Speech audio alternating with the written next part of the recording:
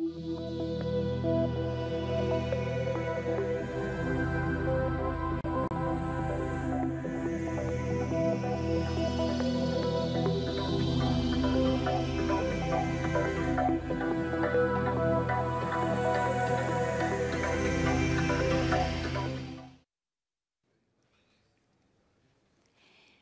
buenas tardes, muy buenos días para los espectadores que nos siguen desde América. Hacemos, comenzamos, damos comienzo a la, segunda entrevista de este mm, décimo Foro Internacional de Televisión TV Morfosis, los contenidos audiovisuales en el nuevo escenario mediático que estamos celebrando desde la Universidad de Valencia en esta ocasión en compañía de las octavas jornadas CONTE de contenidos para la televisión digital. Este, este, programa está siendo producido y realizado por el Canal 44 de la Universidad de Guadalajara, México, y por el Taller de Audiovisuales de la Universidad de Valencia, para ser transmitido a través de la teledifusión iberoamericana, a través del canal Zoom de Colombia, la televisión educativa en México y en las diferentes plataformas audiovisuales por Internet de buena parte de las universidades españolas, europeas y latinoamericanas. En unos instantes vamos a hablar con el profesor Enrique Bustamante sobre la radio y la televisión pública en el marco de la crisis. En un momento en el que el sistema audiovisual español se encuentra inmerso en un escenario completamente nuevo y en plena crisis económica y también de legitimidad, parece necesario encontrar otras maneras de entender la radio y televisión públicas. Muchas gracias, señor Bustamante, por estar aquí con nosotros, hablando de servicios públicos. Muchas gracias a vosotros y a Contedem. Antes os quisiera recordar, antes de empezar con la entrevista, que podéis formularle las preguntas que deseéis al señor Bustamante a través de Twitter, utilizando el hashtag TVMorfosis. Pero antes, antes de comenzar, vamos a ver su videocurrículum. Enrique Bustamante es profesor universitario desde 1980 y catedrático de Comunicación Audiovisual y Publicidad en la Universidad Complutense de Madrid desde 1992. Vicepresidente de la Asociación de Investigadores en Comunicación de España, además es fundador y director de la revista de investigación en comunicación Telos, Cuadernos de Tecnología, Comunicación y Sociedad. Forma parte del Consejo para la Reforma de los Medios de Comunicación de titularidad del Estado, nombrado por el gobierno español presidido por José Luis Rodríguez Zapatero, condecorado por este motivo con la Gran Cruz del Orden Civil de Alfonso X el Sabio. Bueno, hemos estado hablando a lo largo ya de este día y medio que llevamos de, jornadas, a lo largo de estos programas, que se está produciendo una multiplicidad terrorífica de, la oferta. ¿Qué sentido tiene en este nuevo contexto la televisión pública? Bueno, me gustaría eh, primero introducir un poco mi intervención en el sentido de que, por supuesto, hablo a, título individual, como siempre, y los errores son míos, pero eh, me gustaría recordar que formo parte de un grupo de investigación que se llama Tele de Todos, que creamos hace años, con eh, en torno a 200 personas de apoyo, de profesionales de la comunicación y de, profesores, de investigadores.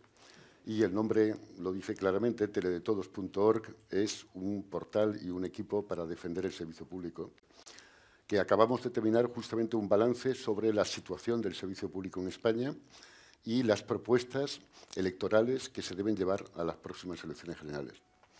También, inevitablemente, mi intervención va a beber de un grupo internacional paralelo, el Grupo de Turín, que se creó hace seis, siete años, con investigadores y profesionales de siete países europeos.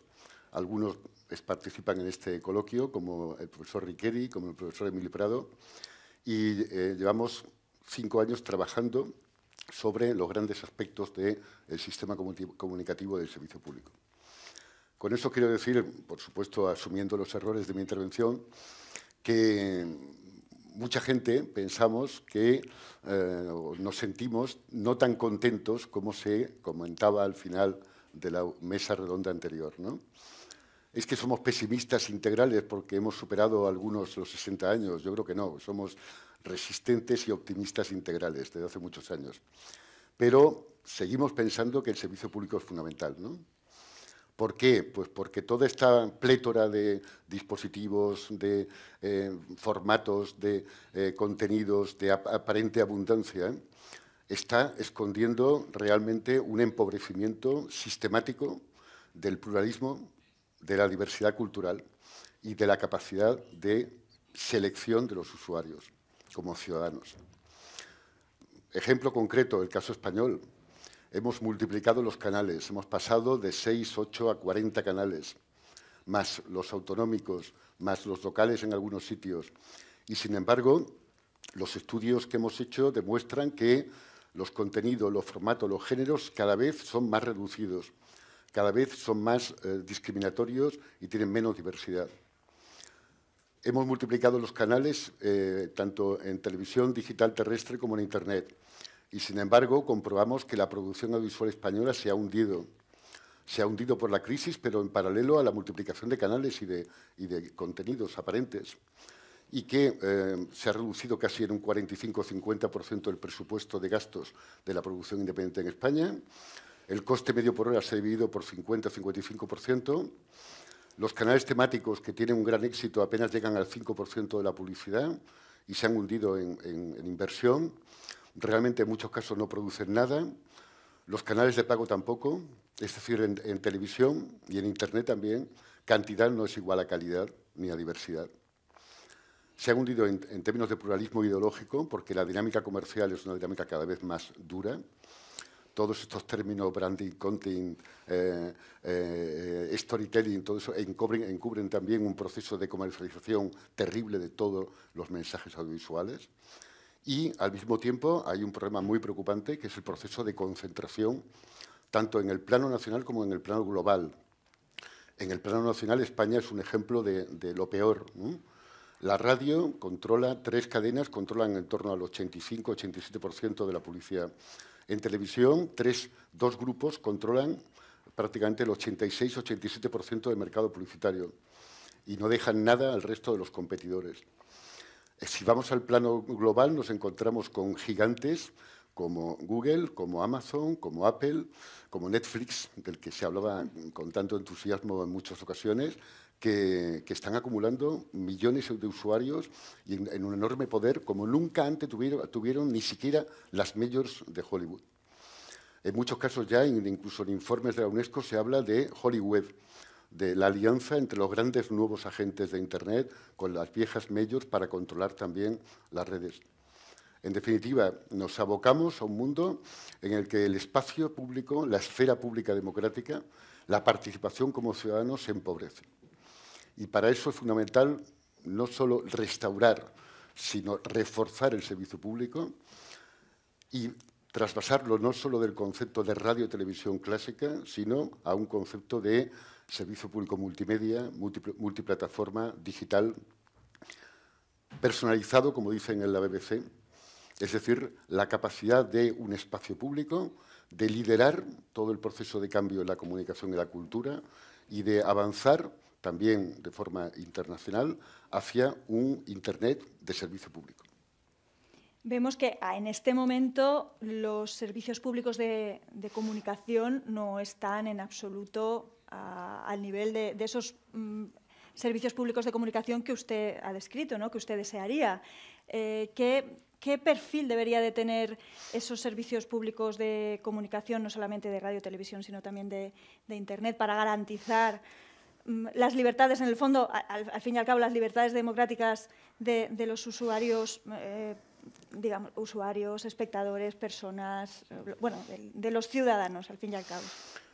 Bueno, no se puede hacer un mapa uniforme. La BBC ha hecho un plan muy serio de eso que han llamado televisión personalizada, multimedia, de recuperar, eh, de traspasar al, mundo digital todas las misiones clásicas que desempeñaba se está haciendo un esfuerzo también muy importante en Alemania.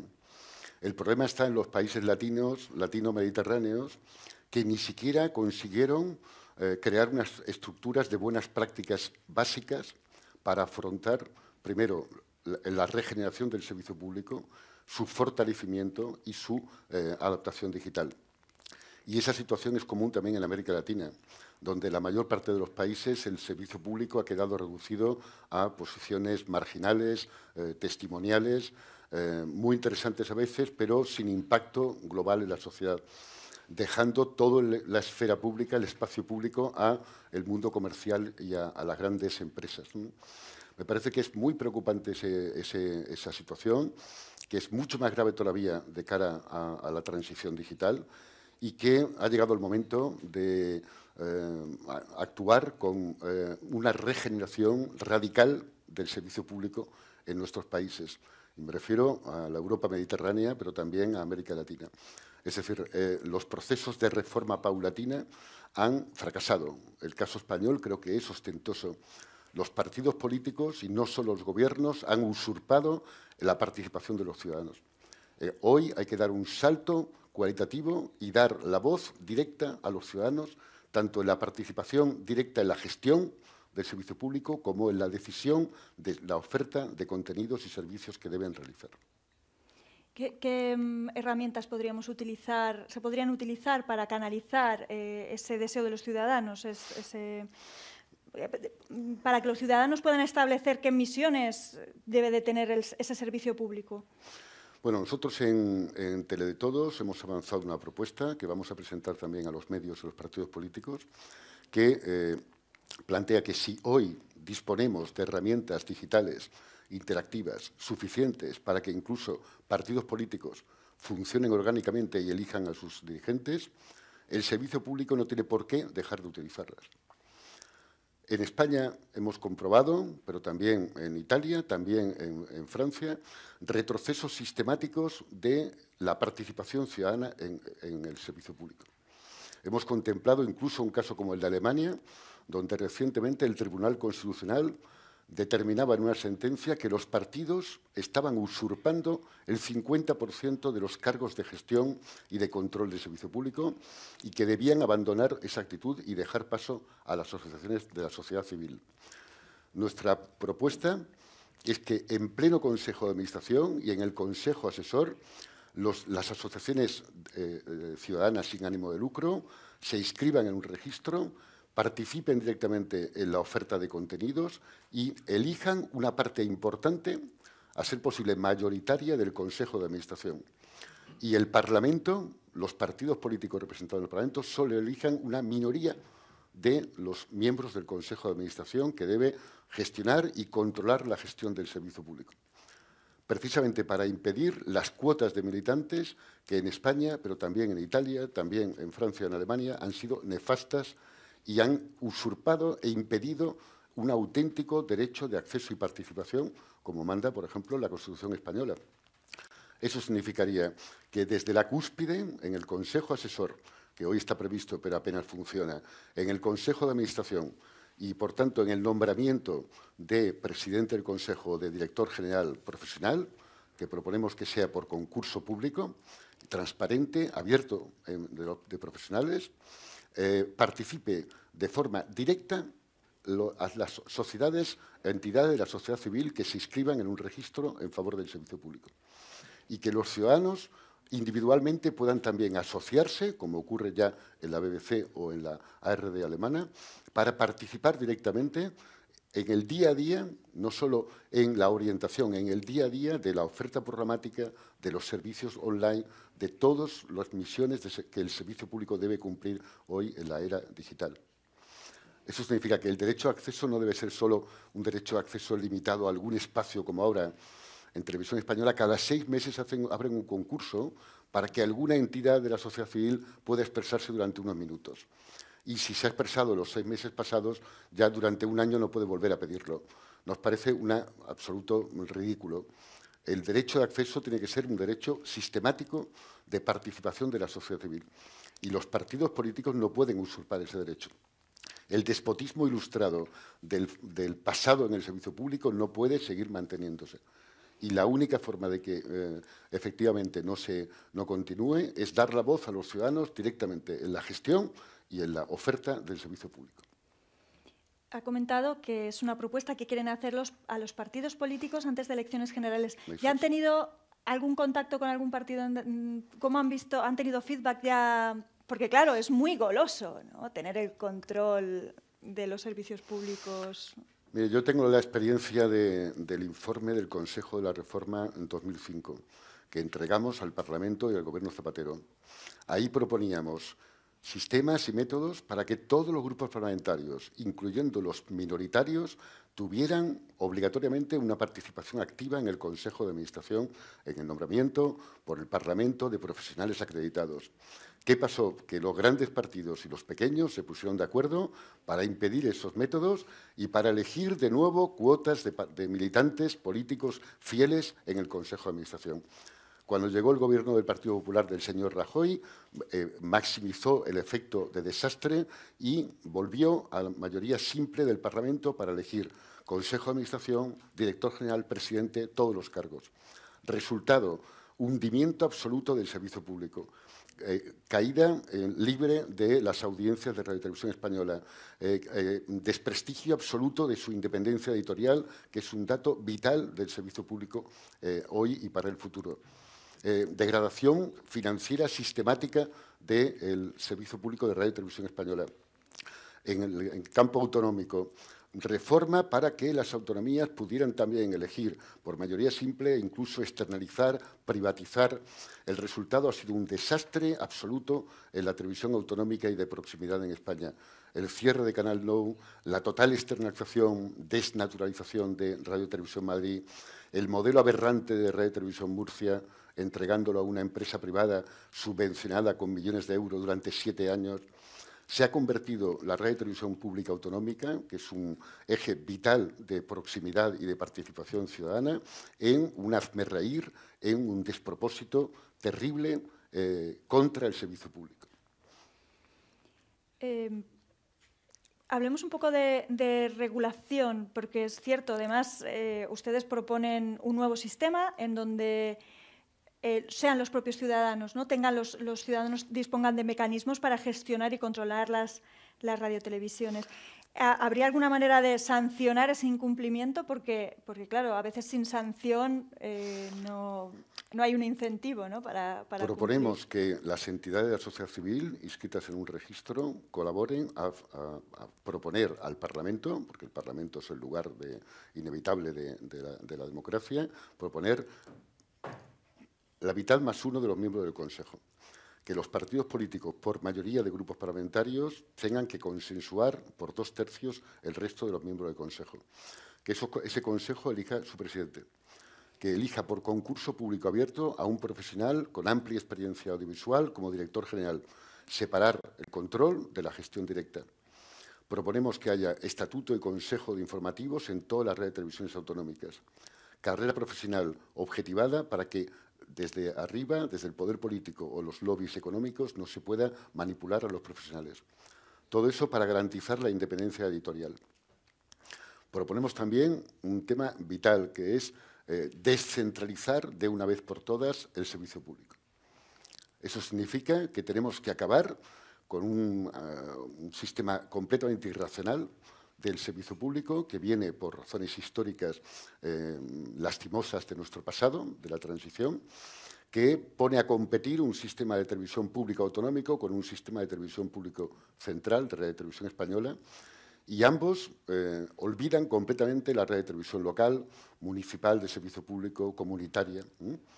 Proponemos que haya una construcción desde abajo, aprovechando la experiencia de la BBC en Escocia, Gales, etcétera, Irlanda y la de la RD y ZDF alemana, construir un sistema federal de radio y televisión pública de arriba abajo, de abajo arriba, eh, con colaboración de las autonomías para que en cada eh, comunidad autónoma la radio y televisión autonómica con total autonomía eh, realice las emisiones y colabore con Radio y Televisión Española para hacer un canal estatal alimentado por la creatividad y la cultura de todas las regiones. Muy interesante. ¿Y, qué haremos con la financiación? Porque también la manera de financiarse es una manera de mantener la independencia, no solamente desde la gestión, sino cómo van entrando. Bueno, en financiación también tenemos toda una colección de malas prácticas en España que, de las que debemos aprender. Eh, Primero, en 2005 había una deuda acumulada de casi 7.500, 8.000 millones de euros, que llevaba a la quiebra absoluta el, servicio público. Aquello se solucionó con una absorción de la deuda por el Estado y creando la Corporación de Radio y Televisión de nueva planta, sin endeudamiento, con prohibición de endeudamiento. Esa prohibición se ha violado también. Radio Televisión Española tiene un déficit de 100, 120 millones de euros cada año, ya 750, 800 acumulados. Y la ley decía que en esa situación todos los consejeros y el presidente debían dimitir automáticamente, cosa que no han hecho, evidentemente.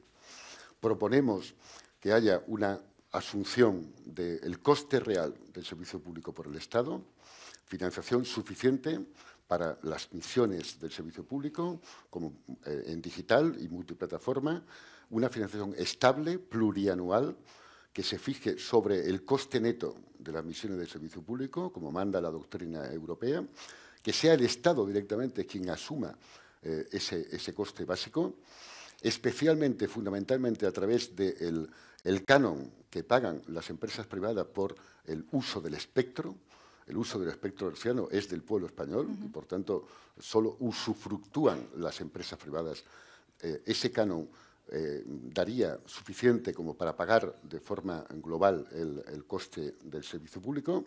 Proponemos que eh, la vuelta a la publicidad en Radio Televisión Española es hoy enormemente arriesgada y difícil, pero que la tasa que pagan las empresas privadas por esa eliminación de la publicidad a partir de 2010 vaya a un fondo de reserva que está previsto en la legislación eh, para, porque es imprevisible, cada año cambia y hay procesos y hay expedientes, etc. Proponemos que, en cambio, el servicio público use directamente el patrocinio y especialmente el patrocinio cultural, incluyendo en los medios eh, online. Y proponemos, en una situación en la que en toda Europa se debate sobre el canon, el famoso canon eh, general en la Europa occidental, que grababa a los hogares con televisor para um, permitir la concienciación del público, eh, proponemos un sistema original en el cual el coste total del servicio público que paga el Estado aparezca en la declaración de la renta que hacemos, una parte importante de la población, eh, con la cuota correspondiente a cada persona o a cada eh, familia en función de sus ingresos. Es decir, que quede claro, primero, que es un impuesto finalista que va para pagar el servicio público, enormemente importante en nuestra sociedad, y segundo, que quede claro también que es progresivo, cosa que el Cano no lo conseguía porque era igual para todos los hogares. Que es progresivo significa que una parte importante de la población que no tiene que hacer el IRPF no pagará pero eh, los que paguen pagarán en función de su renta y de su disponibilidad de renta. Pensamos que esa es la solución en, un sistema en el que ya es imposible grabar a los hogares que tengan televisión, porque hoy se capta la televisión por cualquier dispositivo y por cualquier plataforma. Y el canon histórico es un concepto eh, regresivo, injusto, porque pagan también hogares que no pueden pagar o hogares que eh, pagan lo mismo que eh, la clase alta, que tiene eh, una muchísima mayor disponibilidad de renta. Y, de paso se motiva al, ciudadano a ser exigente, ¿no? Porque si yo soy consciente que tantos euros al año son retenidos por Hacienda para la televisión, es como que me duele un poquito más y es curioso. La noto más como una televisión de pago. Es curioso, que, es curioso que en muchos países como el nuestro estamos habituados a que haya una casilla aparentemente voluntaria para la Iglesia, que sabemos todos que aunque no la marquemos también le van a dar el mismo dinero a la Iglesia porque ya está concertado, una casilla para las ONG que también podemos marcar eh, y no la haya para el servicio público, que es un elemento vital para el futuro como cultura, como democracia, como cohesión social, como integración de, un Estado. Eh, pensamos que es fundamental mantener esa visión finalista y de concienciación de los ciudadanos, tanto en el modo de pagar y recaudar transparente el, el coste del dinero público, como en realmente en que vean y comprueben que el servicio público responde a sus demandas, necesidades, organización y que puedan aglutinarse en torno al servicio público, exigir, eh, participar, demandar y que sus demandas sean públicas, transparentes, notorias. ¿no?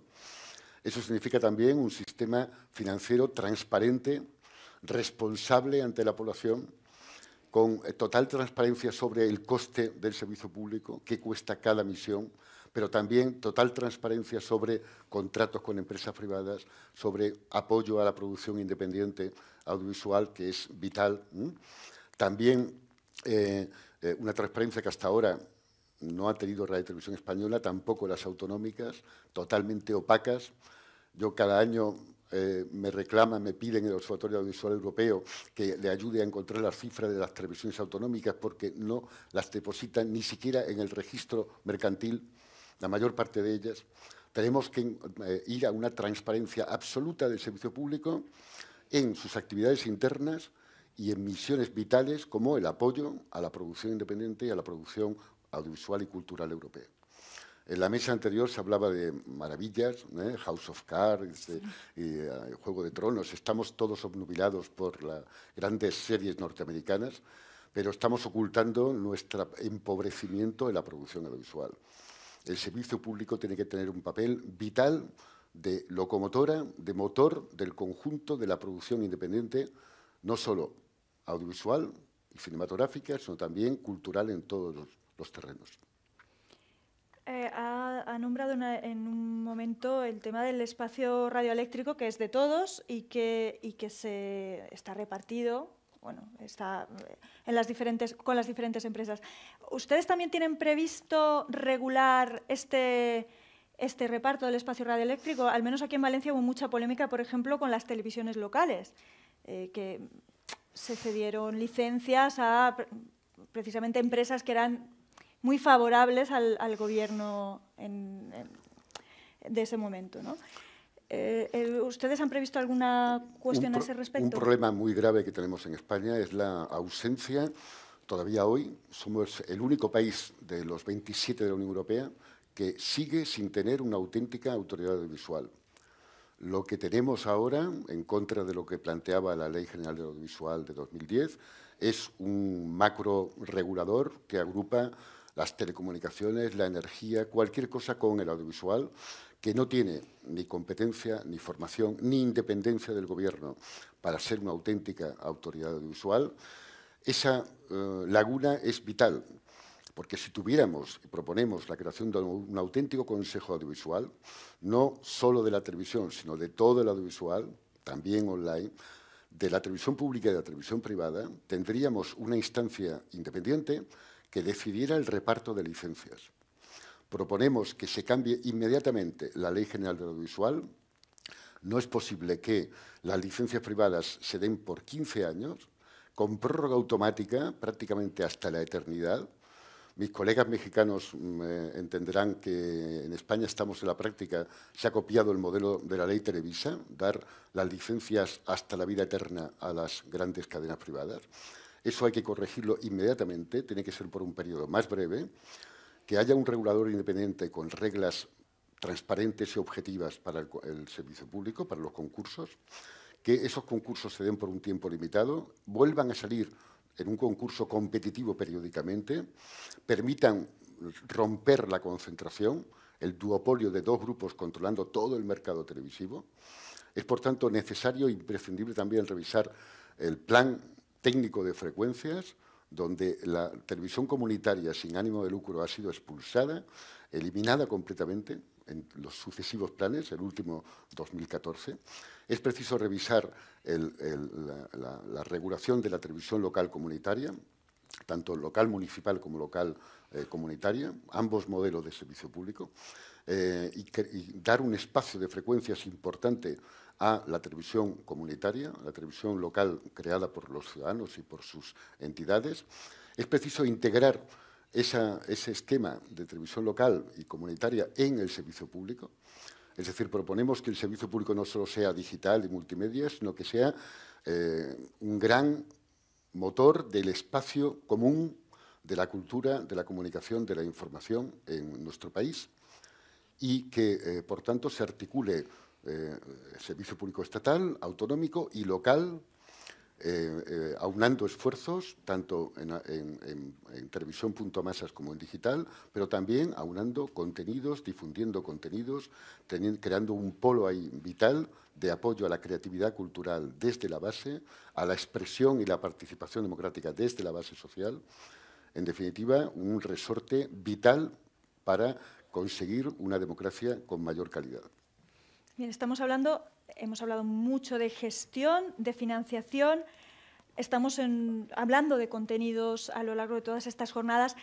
Em, esto, estos eh, mecanismos a través de los cuales los ciudadanos, que usted mismo ha establecido, pueden controlar las televisiones, también eh, se centrarán, hablarán de contenidos, decidirán qué contenidos sí, qué contenidos no, en función de qué. Primero, eh, reivindicamos que se cumpla la ley.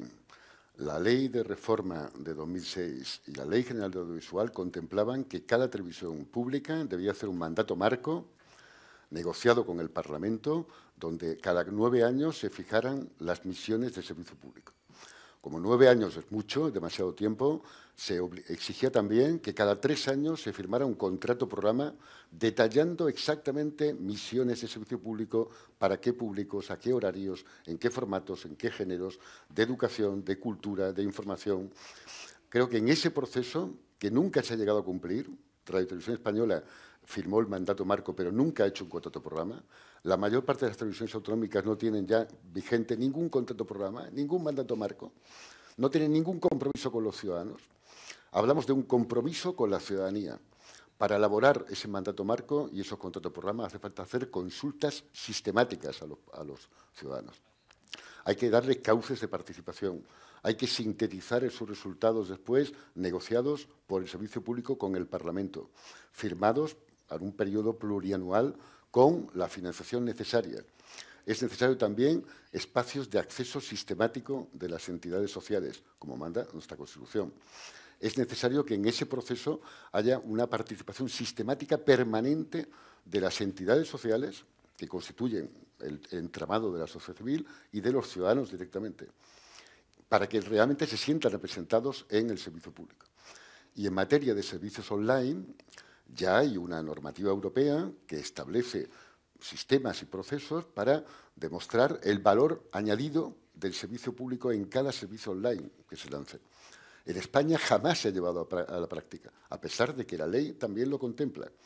Es necesario que ese proceso que exige la Unión Europea se constituya como un auténtico sistema de participación, que los ciudadanos decidan en cada momento qué servicios online necesitan justamente para contrarrestar la presión brutal comercial que las redes digitales tienen hoy, incluyendo las redes sociales, que olvidamos frecuentemente que son entramados de enormes eh, corporaciones con cotizaciones en bolsa y negocios impresionantes, como Google, por ejemplo. Es necesario avanzar también en una cooperación internacional con la UER, con las radio televisiones públicas de toda Europa, construir un sistema mucho más eficaz de intercambio de programas, de cooperación para eh, la adaptación tecnológica. Es necesario convertir el servicio público en un elemento central de la cooperación cultural, de la cooperación internacional, de la cooperación por la diversidad, como establece el convenio con la UNESCO que España, entre otros países, ha firmado. En definitiva, es necesario convertir el, servicio público multimedia y multiplataforma en el eje de acceso a lo común en la cultura y la comunicación de todos los ciudadanos.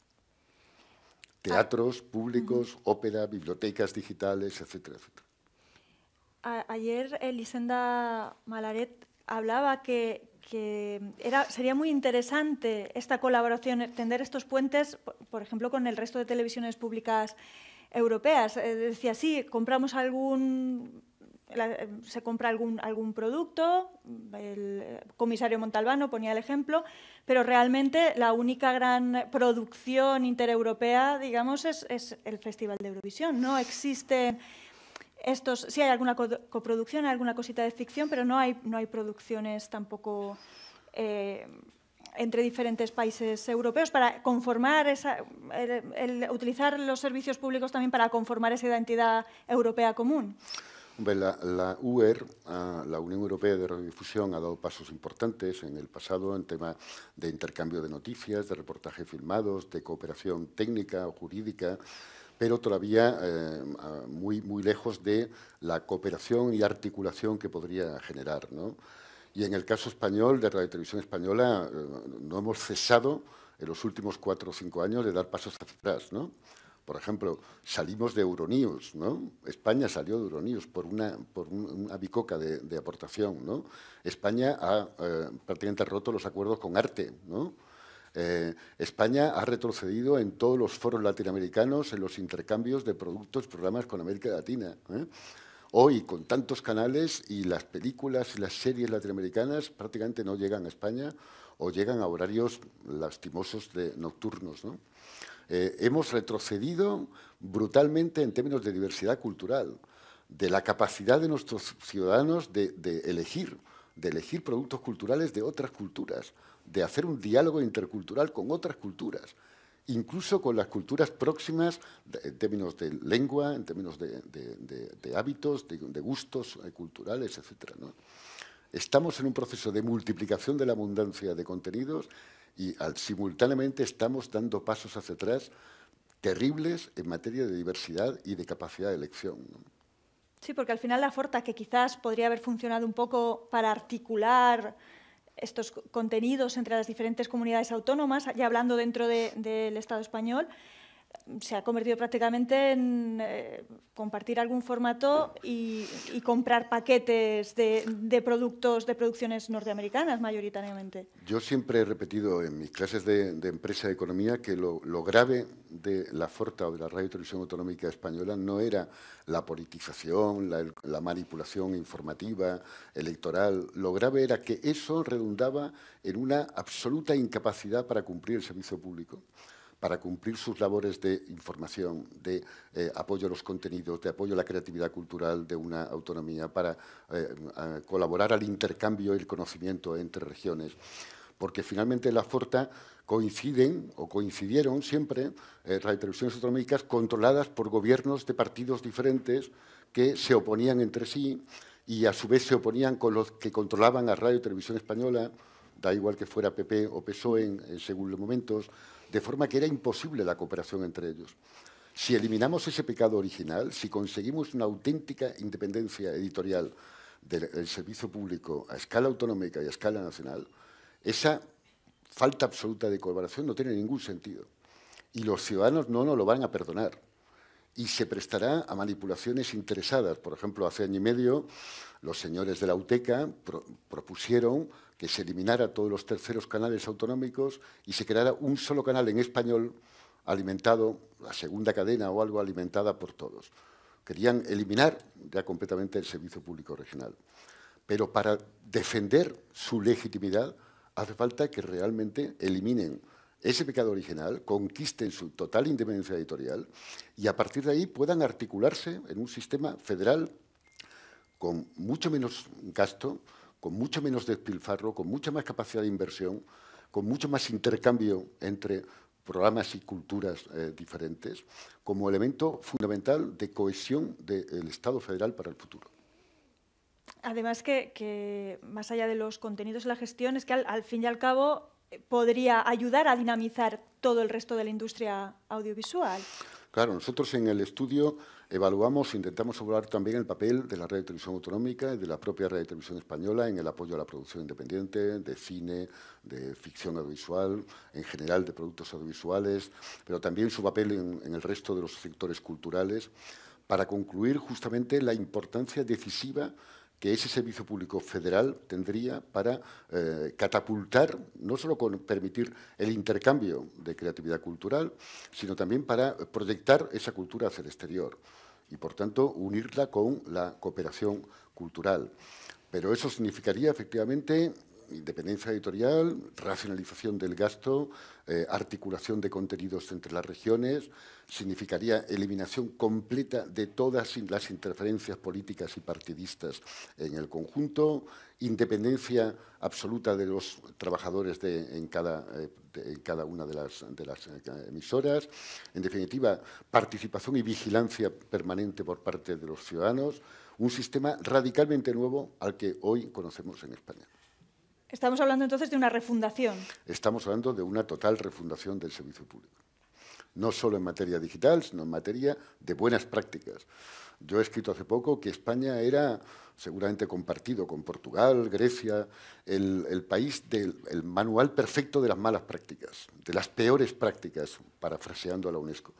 Eh, nuestra idea es que estamos en la recta final, ya no hay tiempo. El servicio público se ha hundido en España y no solo por la abundancia o la multiplicación de canales de la TDT, sino por su falta de prestigio y su degradación eh, eh, de su legitimidad democrática. Y estamos ahora ya en el suelo de una radio televisión española con el 15-16%, de una autonómica con el 8%, llegó a tener el 17-18%, todo el servicio público no llega a 25% ya de, la... Si no hacemos una reforma radical, una regeneración radical, dentro de cuatro o cinco años probablemente solo podemos certificar la muerte del servicio público. O probablemente, peor todavía, tengamos que certificar que en España, perdónenme mis colegas mexicanos, copiamos el modelo Televisa.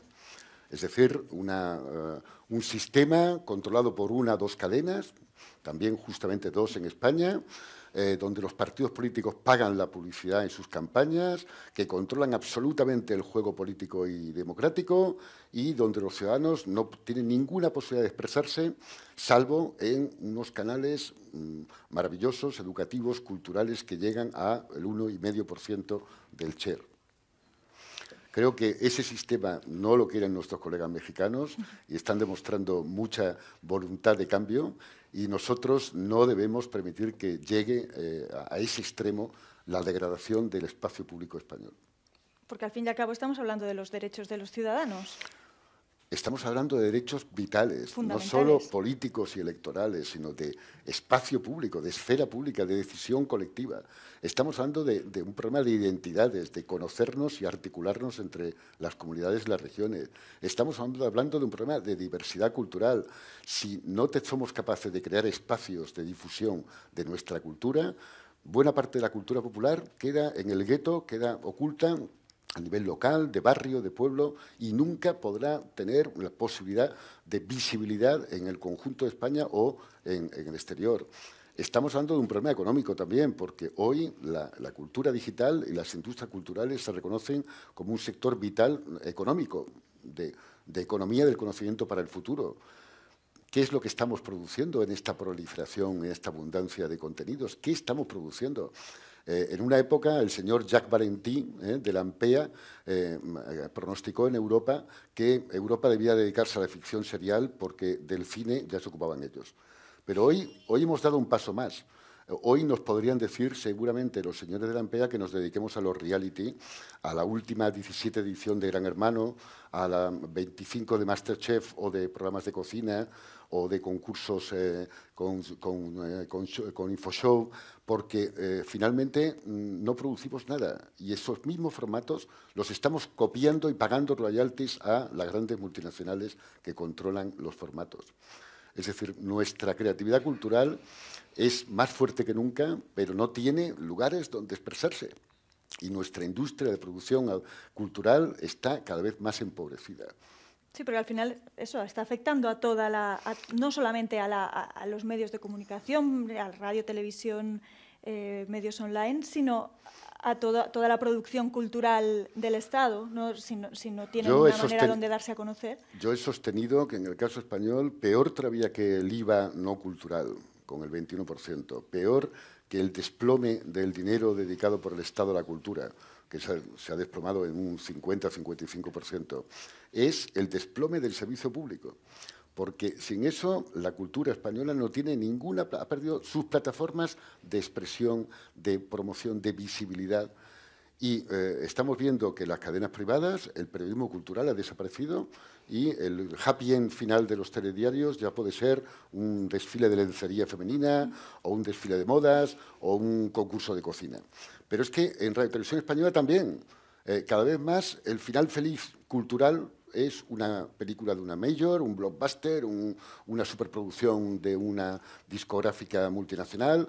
Es decir, incluso, incluso el, último rastro del de eh, nacionalismo cultural, que es defender y apoyar la cultura europea, la cultura española, etcétera, se está desapareciendo.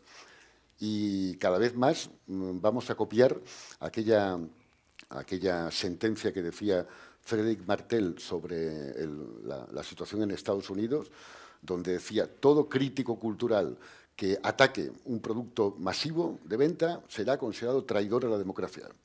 Es decir, eh, el que no apoye a las majors y a sus grandes productos será considerado un traidor a la eh, modernidad de la democracia. Muchísimas gracias eh, por este, esta traición a la democracia atacando a las majors. Continuaremos. Ha sido una entrevista interesantísima. Les esperamos dentro de unos minutos hablando precisamente de la televisión de proximidad, televisión pública de proximidad. Muchas gracias y hasta luego.